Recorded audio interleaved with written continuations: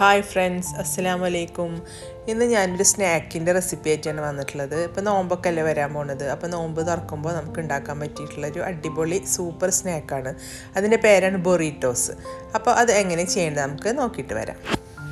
ഇതിൽക്ക് മൈദപ്പൊടി വേണം. ഞാനിപ്പോൾ ഒരു രണ്ട് കപ്പ് മൈദ എടുത്തു വെച്ചിട്ടുണ്ട്.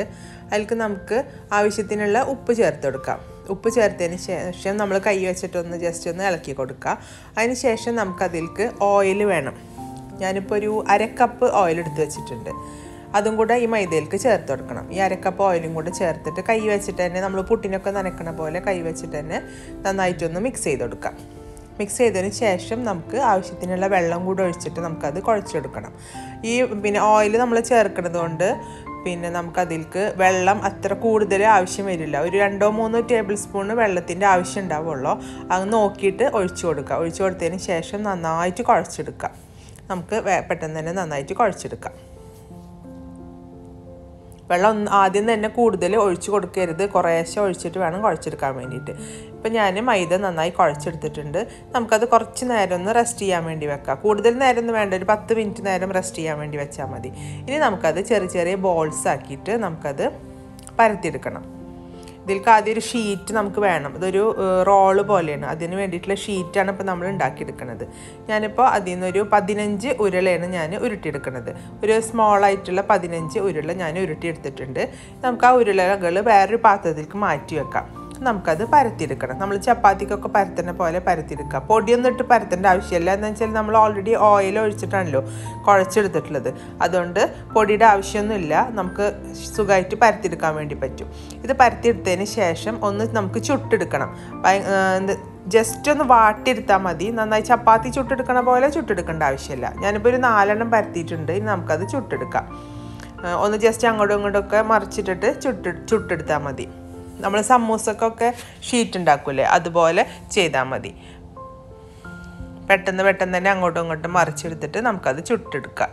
ഞാനിപ്പോൾ ചുടലും പരത്തലും കൂടെ ഒരുമിച്ച് തന്നെ ചെയ്യണത്. പെട്ടെന്ന് തന്നെ പരത്തും ചുടലും നമുക്ക് ചെയ്യാം. അല്ലാന്നുണ്ടെങ്കിൽ നിങ്ങൾക്ക് ഫുള്ളായിട്ട് പരത്തി വെച്ചിട്ട് ചുട്ടെടുക്കുകയെന്നുണ്ടെങ്കിൽ അങ്ങനെയും ചെയ്തെടുക്കാം. അപ്പോൾ അല്ലാതെ നമുക്ക് പതിനഞ്ച് ഷീറ്റും നമുക്ക് ചുട്ടെടുക്കാം. പരത്തിയതിന് ശേഷം ചുട്ടിട്ട് മാറ്റി വെക്കാം. അതിന് ശേഷമാണ് നമുക്ക് അതിന്റെ ഉള്ളിലേക്ക് വെക്കേണ്ട മസാല തയ്യാറാക്കേണ്ടത്. ഇത് ഈ ഷീറ്റ് ഉണ്ടാക്കി വെച്ചാൽ നമുക്കിപ്പോൾ തലേ ദിവസമൊക്കെ ഉണ്ടാക്കി വെക്കുക ഉണ്ടാക്കിയിട്ട് കവറിലാക്കിയിട്ട് ഫ്രിഡ്ജിൽ വെക്കുക. അല്ലെങ്കിൽ പുറത്ത് തന്നെ വെച്ചാൽ മതി നമുക്ക് ഉണ്ടാക്കിയെടുക്കാൻ പറ്റും.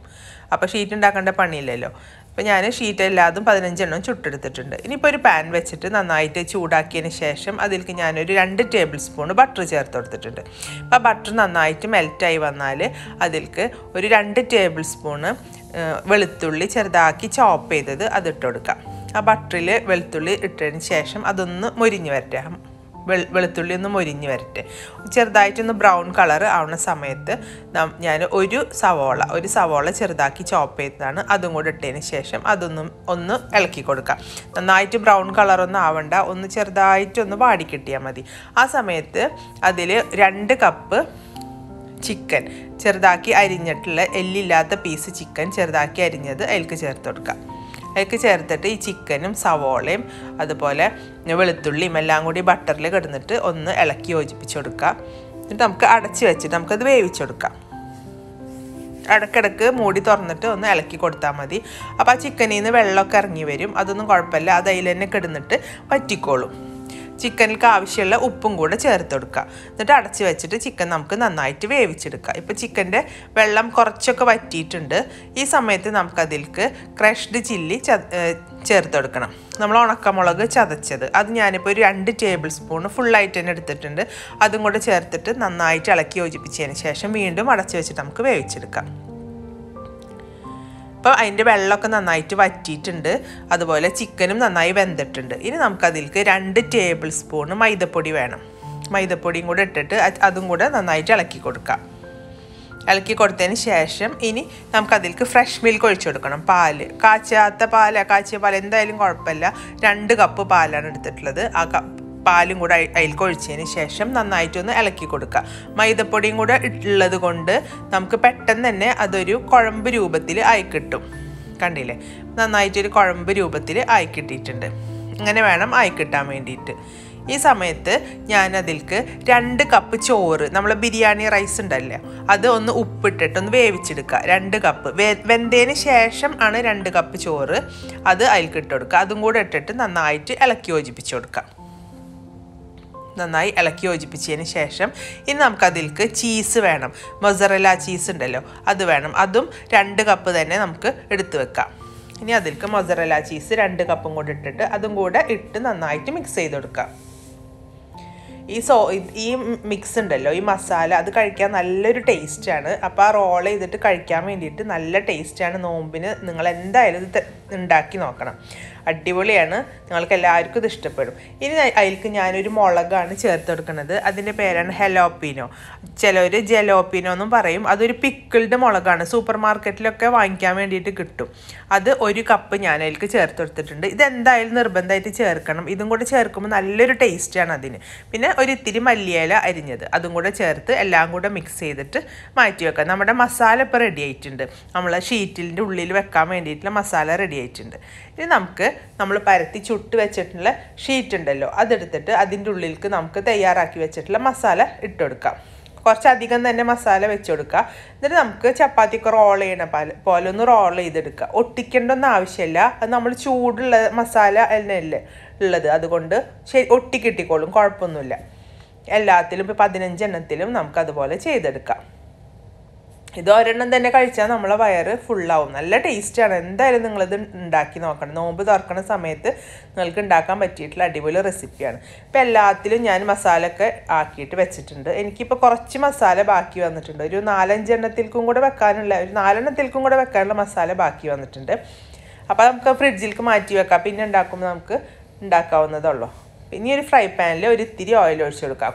ഓയിൽ കുറേ ഒഴിച്ചിട്ട് അതിൽ ഫുള്ളായിട്ട് ഇട്ട് പൊരിക്കേണ്ട ആവശ്യമില്ല. കുറച്ച് ഓയിൽ ഒഴിച്ചാൽ മതി. ഇനി നമുക്കത് അങ്ങോട്ടും ഇങ്ങോട്ടും മറിച്ചിട്ടിട്ട് ഒരു ബ്രൗൺ കളർ ആവണ വരെ നമുക്കത് ഫ്രൈ ചെയ്തിട്ട് എടുക്കാം. നല്ല ടേസ്റ്റാണ് നിങ്ങളെല്ലാവരും ട്രൈ ചെയ്ത് നോക്കണം. നിങ്ങളെന്റെ ചാനൽ സബ്സ്ക്രൈബ് ചെയ്യാണ്ടാണ് കാണുന്നതെന്നുണ്ടെങ്കിൽ സബ്സ്ക്രൈബ് ചെയ്യണം ലൈക്ക് ചെയ്യണം ഷെയർ ചെയ്യണം. അതുപോലെ നിങ്ങൾക്ക് എന്റെ റെസിപ്പികൾ ഇഷ്ടമാവുന്നുണ്ടെങ്കിൽ നിങ്ങളെ കൂട്ടുകാർക്കും അതുപോലെ റിലേറ്റീവ്സിനൊക്കെ വിട്ടുകൊടുക്കണം അങ്ങോട്ടും ഇങ്ങോട്ടൊക്കെ മറിച്ചിട്ടിട്ട് അതൊരു ബ്രൗൺ കളർ ആയാലും നമുക്കത് കോരി മാറ്റാം. നമ്മൾ ഹലോ നമ്മുടെ ബൊറീറ്റോസൊക്കെ ബ്രൗൺ കളർ ആയി വന്നിട്ടുണ്ട്. നമുക്കതൊരു പ്ലേറ്റിലേക്ക് മാറ്റി കൊടുക്കാം. നല്ല അടിപൊളിയായിട്ട് സൂപ്പറായിട്ട് കിട്ടിയിട്ടുണ്ട്. നമുക്കത് എല്ലാം നമുക്ക് ഫ്രൈ ചെയ്തെടുക്കാം. ഞാനിപ്പോൾ എല്ലാതും ഫ്രൈ ചെയ്യണില്ല ഞാനൊരു അഞ്ചാറെണ്ണം ഫ്രൈ ചെയ്യണുള്ളൂ ബാക്കി നമുക്ക് ഫ്രിഡ്ജിൽ വെക്കാം. എന്നിട്ട് നമുക്ക് എപ്പോഴും സൗകര്യമുള്ള വെച്ചാൽ അതുപോലെ നമുക്ക് ഫ്രൈ ചെയ്തെടുക്കാം. ഇതിപ്പോൾ നമ്മൾ തലേ ദിവസമൊക്കെ ഉണ്ടാക്കി വെക്കുന്നുണ്ടെങ്കിൽ പിറ്റേ ദിവസം നമുക്ക് പിന്നെ ഫ്രൈ ചെയ്തെടുത്താലും മതി. കൂടുതൽ ദിവസം ഫ്രിഡ്ജിൽ ഇരിക്കില്ല കേട്ടോ. കണ്ടില്ല? അതിന്റെ ഉള്ളൊക്കെ നോക്കിയാൽ നല്ല അടിപൊളി ടേസ്റ്റാണ് നിങ്ങളെല്ലാവരും ട്രൈ ചെയ്ത് നോക്കേണ്ട. ഒരു റെസിപ്പി തന്നെയാണ്. നിങ്ങളെല്ലാവരും ഇത് ഉണ്ടാക്കി നോക്കിയിട്ട് ഫീഡ്ബാക്ക് അറിയിക്കാൻ മറക്കരുത്. അതുപോലെ നിങ്ങൾ എന്റെ ചാനൽ ലൈക്ക് ചെയ്യാനും ഷെയർ ചെയ്യാനൊന്നും മറക്കരുത്. കണ്ടില്ല? അടിപൊളി സൂപ്പർ റെസിപ്പിയാണ് നമുക്ക് പെട്ടെന്ന് ഷീറ്റ് നമ്മൾ ഉണ്ടാക്കിയിട്ട് വീട്ടിൽ വെച്ചിട്ടുണ്ടെങ്കിൽ ഫ്രിഡ്ജിൽ എടുത്ത് വെച്ചിട്ടുണ്ടെങ്കിൽ മസാല മാത്രം ഉണ്ടാക്കിയാൽ മതിയല്ലോ. ഇനി ഒരു പുതിയ റെസിപ്പി ആയിട്ട് വരാം. എല്ലാവരും ട്രൈ ചെയ്ത് നോക്കണം. താങ്ക്